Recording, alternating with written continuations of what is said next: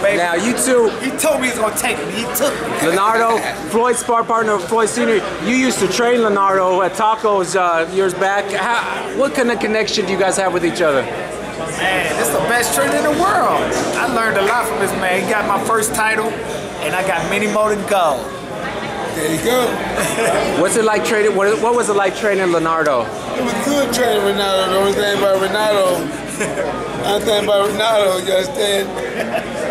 I tell him, hey, you know, you, you, you know what that is. It means you gotta get some more. And Ronaldo, you know, Ronaldo, he like this right here. You know, how- you know, you know how most of it is, man. But, but when, when it started getting down to close to uh, getting down to business, you know what kind of time it is. He, he, he get to work and he do his job.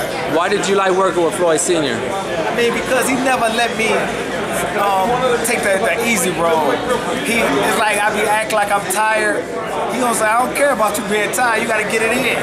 And then he make me go run, and he be right behind me with that Benz. Uh, soon I slow up, right on my ass. What's it been like being part of Floyd's camp and reconnecting? You guys are kind of, you know, reconnected again. That's the best thing ever to me, man. I'll tell you that. Being back with Senior again, Senior used to come pick me up, take me just he just welcomed me in, man, like like his son. And,